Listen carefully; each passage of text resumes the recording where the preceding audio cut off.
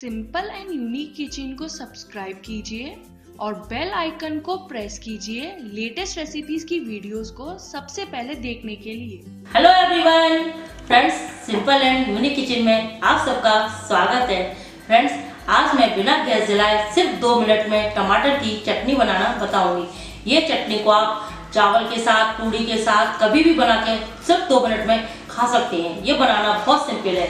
अगर चटनी पसंद आए तो वीडियो को लाइक करें शेयर करें चैनल को सब्सक्राइब करें। तो आइए सिर्फ़ दो मिनट में बिना गैस जलाए टमाटर की चटनी बनाना शुरू करते हैं। तीन टमाटर हैं, हरी मिर्च है, अदरक का टुकड़ा है, धनिया पत्ती है, सादा नमक है, काला नमक साबुत धनिया लिया है साबुत धनिया से इस चटनी में बहुत टेस्ट आता है। अगर आपके पास साबुत धनिया नहीं तो पिसा भी ले सकते हैं। अगर हो सके तो साबुत धनिया लें, हींग लिए, लौंग और दालचीनी लिए। और सबसे पहले हम क्या करेंगे? टमाटर को लेंगे। इन सब चीज़ों को हमने धोकर रख लिया है। सबसे पहले हम टमाटर को कट करेंगे। इसके तीन चार पीस कट कर लेते हैं, जिससे जो पीसने में, सीजने में सुविधा रहे। देखिए, हमने इसके टमाटर के कट कर लेते टमाटर आप पके हुए लें और लाल लें तो ज़्यादा अच्छी चटनी बन के आएगी, बहुत टेस्टी बन के आती है। और ध्यान रखें, आप वेराइटी टमाटर लें। वेराइटी टमाटर की चटनी बहुत अच्छी बनती है बन के आती है।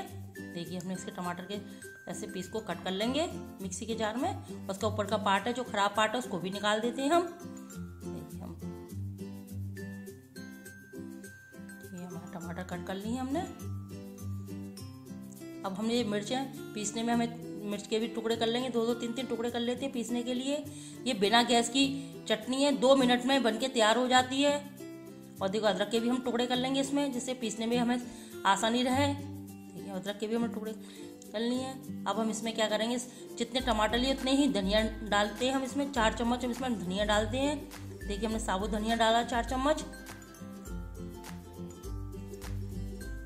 थोड़ी सी हींग डालते हैं। हींग से इसमें बहुत अच्छा टेस्ट आता है। थोड़ी सी हींग डालते हैं और टेस्ट के अनुसार काला नमक, सादा नमक लौंग और दालचीनी। थोड़ी सी लौंग और दालचीनी गिरते हैं और थोड़ी सा हम इसमें पानी गिरते हैं पीसने के लिए। थोड़ा सा हल्का सा बिल्कुल पानी गिरते हैं और इसका ढक्कन लगा कर बिल्कुल महीन पेस्ट, महीन चटनी पीस लेते हैं। बिल्कुल महीन चटनी इसको पीस लेंगे। देखिए हमारी चटनी पिस गई है, बहुत ही अच्छी लगती है इसको चावल के साथ, खिचड़ी के साथ खाएँ, ये बहुत ही टेस्टी लगती है। कभी कभी धनिया इतना महँगा होता है, हम चटनी नहीं बना पाते। आप टमाटर की चटनी बनाइए, बिल्कुल धनिया जैसा स्वाद लगता है इसका खाने में, बिल्कुल कभी कभी और देखिए जी, हमारी चटनी, टमाटर और धनिया हर समय हमारे घर में अवेलेबल है। तो आप धनिया देखिए, हमारी टमाटर की चटनी बन के तैयार। फ्रेंड्स, चटनी कैसी लगी? अगर पसंद आई हो तो कमेंट्स में बताएँ। वीडियो को लाइक करें, शेयर करें, चैनल को सब्सक्राइब करें। सब्सक्राइब करने के लिए इस बटन को प्रेस करें। धन्यवाद।